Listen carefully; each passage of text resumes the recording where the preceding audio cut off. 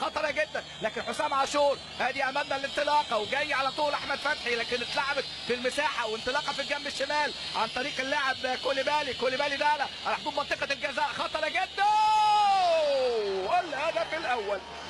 يانيك زكري يانيك زكري يسجل في هذه الكرة في الدقيقة كام؟ الدقيقة 29 وسط السيطرة واستحواذ أهلاوي.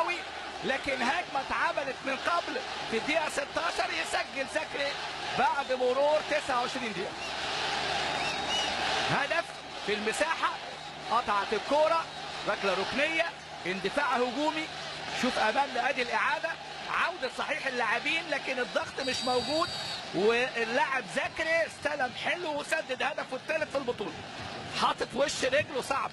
صعبة جدا.